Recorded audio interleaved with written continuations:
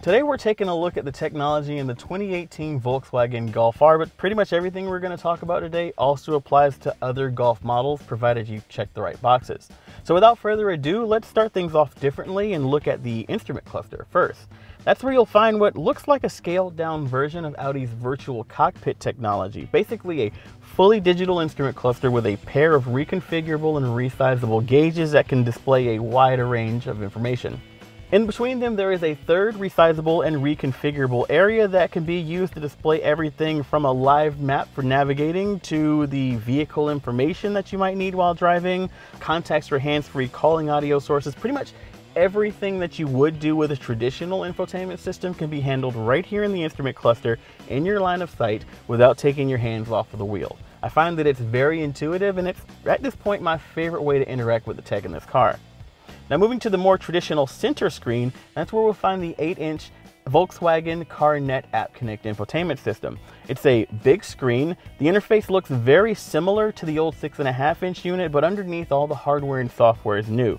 It's got a whole lot more functionality and it's much more responsive. You'll also notice that on certain screens, as my hand approaches the display, a proximity sensor detects me and makes the buttons and icons larger so they're easier to touch. And then when I pull away, everything shrinks down to a nice clean interface. We've got really good features like sharp maps with really good navigation and voice control. We've also got a wide array of digital media sources to choose from. If that's not enough for you, you can also plug in your Android smartphone to gain access to Android Auto connectivity.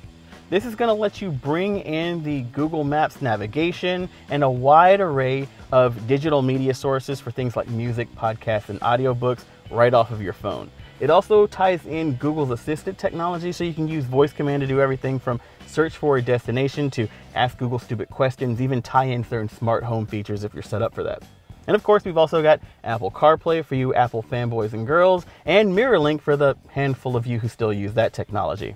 Overall, this is a huge improvement over what was already one of my favorite infotainment systems.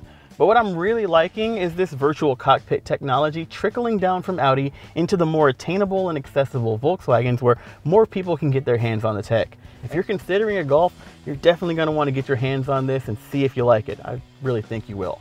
So I mentioned that Volkswagen system is one of my favorite and it's gotten even better for this generation, but I wanna know what's your favorite car technology? Let us know down in the comments below and be sure to subscribe to The Roadshow for even more car technology reviews.